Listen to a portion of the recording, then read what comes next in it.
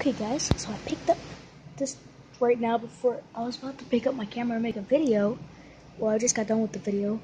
But when I picked up my camera, you know how you have to like hold it like like you put your hand in that and you hold it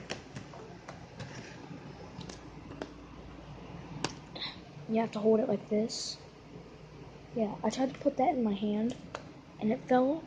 I wonder what was going on, why it fell off there was like a big hole in the side of my camera.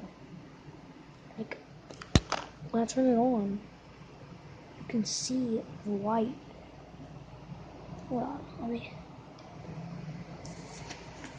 Well, the lens on my camera is too big to, to look inside there, so I can't really show you.